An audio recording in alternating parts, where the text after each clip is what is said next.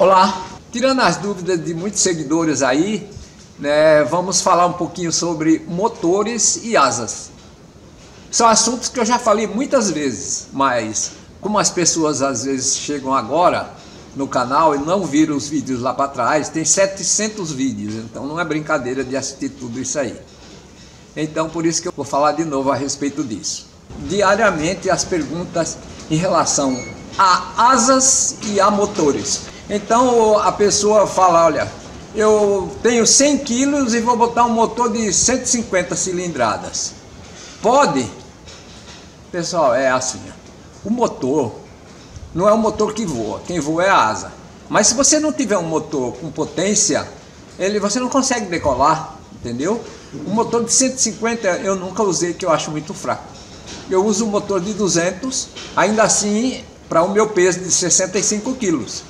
Se a pessoa tiver 90, 100 quilos, não vai decolar. Ou se vai decolar, mas vai precisar de correr muito na pista. E vai decolar devagarzinho, entendeu? Se for para decolar rápido como eu decolo, no geral não consegue.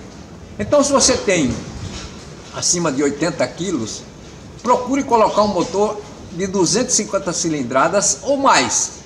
Motor twist ou então um bride estreito esse então ele decola com pessoas de 110, 120 quilos com tranquilidade, né? O Bride Estreito, que o pessoal chama no Brasil de Briggs e Stratton. Então esse motor ele é forte e é quatro tempos. Os motores de dois tempos, eu acho inclusive para as pessoas mais pesadas deve usar os rotatos mesmo, 503 ou 532 ou 582. São ótimos motores e muito fortes, são muito fortes.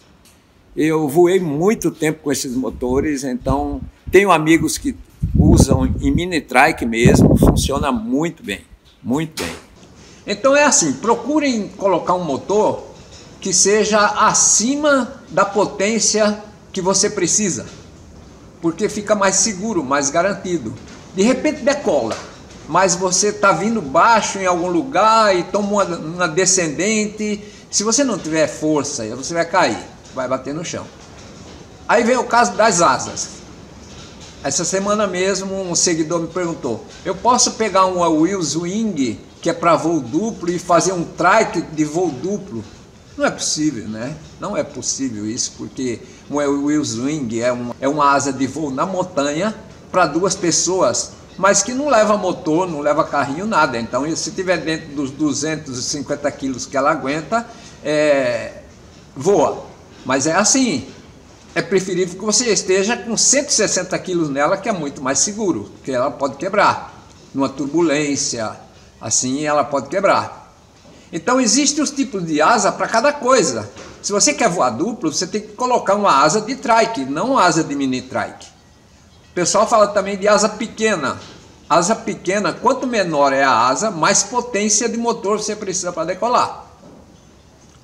De novo, voltando ao meu caso, eu tenho uma asa grande, a maior possível, e eu decolo bem com motor de 200 cilindradas. Mas se eu botar uma asa pequena, pode ser que eu não consiga decolar. Tem que ser outro motor, mesmo com meu peso de 65 quilos. Então essas dúvidas sempre haverão, e nós vamos procurar esclarecendo. É, tudo isso que eu estou falando eu já falei em outros vídeos, mas estou falando novamente para as pessoas que começam a assistir meus vídeos só a partir de agora. Tá bom? Então, muito juízo, né? Tem que fazer as coisas tudo direitinho. E sempre eu vou recomendar que a pessoa não faça nada antes de aprender a voar. Sempre aprender a voar primeiro. Tá bom? Então é isso.